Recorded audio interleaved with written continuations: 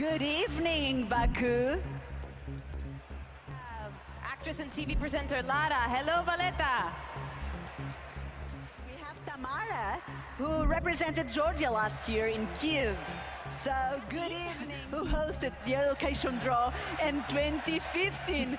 So, Who's been Denmark's spokesperson for the last two years.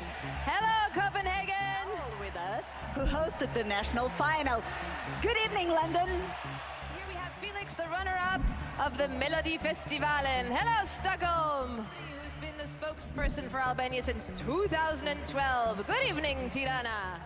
Journalist and TV editor. So, good evening, Zagreb.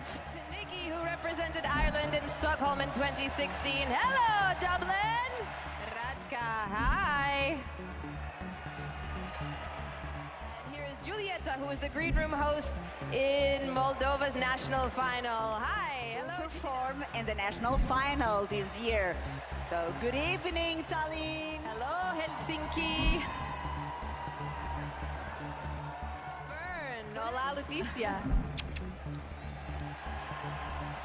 Shalom, Israel. Good evening.